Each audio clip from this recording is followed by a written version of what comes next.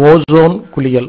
காலையில் சூரியன் உதிக்கிறதுக்கு ஒன்றரை மணி நேரம் முன்னால் இருந்து சூரிய உதிக்கிற அந்த நிமிடம் வரை பூமிக்கு பல அற்புதமான சக்திகள் நெருக்கமாக வந்துட்டுருக்கு. குறிப்பாக ஓசோன் அப்படிங்கிற அற்புதமான சக்தி பூமியை தொட்டுட்ருக்கும் இந்த நேரத்தில். அதனால தான் பல குருமார்கள் யோகா சென்டர் ஆசிரமங்கள் எல்லாம் இந்த நேரத்தில் பிரார்த்தனை பண்ணுறதுக்கு யோகா பயிற்சிகள் செய்யறதுக்கு வலியுறுத்துறாங்க.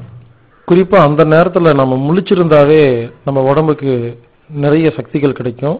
பயிற்சி செஞ்சால் இன்னும் நிறைய சக்திகள் கிடைக்கும். அந்த விதத்தில் அதை குளியலுக்கு எப்படி பயன்படுத்தலாம் அப்படிங்கிறத இப்போ நம்ம பார்க்க போகிறோம் அதாவது இந்த ஒன்றரை மணி நேரத்தில் நாம் குளிக்க இருக்கிற தண்ணியை பச்சை தண்ணியை வெட்ட வெளியில் வச்சோம்னா அந்த தண்ணி ஓசோன் சக்தியை இழுத்துக்கும். அதுக்கப்புறமா நாம் அந்த தண்ணியில் குளிச்சோம்னா நமக்கு ஓசோன் குளியல் அப்படிங்கிற அற்புதமான ஒரு குளியல் கிடைக்கும். ஆனால் சூரியன் மறைஞ்சதுக்கு அப்புறமா ஆனால் சூரிய உதிச்சதுக்கு அப்புறமா இந்த ஓசோன் சக்தி தண்ணியில் இருக்கிற ஓசோன் சக்தி இது ஆவியாக ஆரம்பிச்சிடும் அதனால குளிக்கிறதா இருந்தா தண்ணியை சூரிய உதிக்கிறதுக்கு ஒன்றரை மணி நேரத்துக்கு முன்னால வெட்ட வெளியில வச்சு அதுல ஓசோன் சக்தியை கிரகிக்க வச்சு சூரிய உதிக்கிறதுக்கு முன்னால குளிச்சுட்டா நம்ம உடம்புக்கு கிடைச்சிடும் அந்த தண்ணியை சூரியன் உதிச்சதுக்கு அப்புறம் குளிக்கலாம். ஆனா அதுல நேரம் ஆக ஆக அதில் இருக்கிற சக்தி ரொம்ப கம்மியாயிரும். ஒரு ரெண்டு மணி நேரத்துக்கு அப்புறமெல்லாம் குளிச்சோம்னா அதுல ஒண்ணுமே இருக்காது. அது சாதா தண்ணியா தான் இருக்கும்.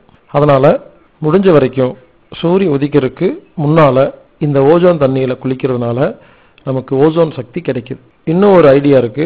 நைட்டு தூங்கும் போது காலையில குளிக்க வேண்டிய தண்ணிய வெட்ட வெளியில மொட்டை மாடியிலயோ இல்ல நேரடியா வானத்தை பாக்குற மாதிரி ஏதோ ஒரு இடத்துலயோ தண்ணியை வச்சுட்டு படுத்தோம்னா இந்த இரவு நேரங்கள்ல எல்லா கோள்களிலிருந்தும் நட்சத்திரங்களிலிருந்தும் சக்தி பூமியை நோக்கி வந்துகிட்டே இருக்கும். அப்போ அதனால இனிமேல் நாம் ஆரோக்கியமா வாழணும்னா இந்த ஒரு முறையில குளிக்கிறத ஒரு நல்ல பயிற்சியா நாம செய்யலாம். அதனால நைட்டே நாம தண்ணிய வெட்ட வெளியில வச்சுட்டு படுத்துட்டோம்னா காலையில நட்சத்திரங்கள் கோள்கள் ஓசோன் எல்லாத்துடைய சக்தியும் கிடைக்கும்போது சூரியன் உதிக்கிறதுக்கு முன்னால எந்திரிச்சு குளிச்சிட்டோம்னா நமக்கு நல்ல பயன் கிடைக்கும். தண்ணிய பிளாஸ்டிக் பக்கெட்ல வைக்க வேண்டாம். மண் பானையில வச்சு அது வச்சா ரொம்ப ரொம்ப நல்லது. இல்லைன்னா காப்பர் செம்பு பாத்திரத்துல வைக்கலாம். இல்லைன்னா சிமெண்ட் தொட்டில கூட வைக்கலாம். பரவாயில்ல. ஆனா பிளாஸ்டிக் பக்கெட்டு இல்லைன்னா சிங்டெக்ஸ் டேங்க் இந்த பிளாஸ்டிக்ல பெரிய டேங்க் எல்லாம் இப்ப வச்சிருக்காங்க இல்லைங்களா? அந்த மாதிரி வைக்க வேண்டாம். இதுக்கெல்லாம் அந்த இழுக்கிற சக்தி கிடையாது. அதே மாதிரி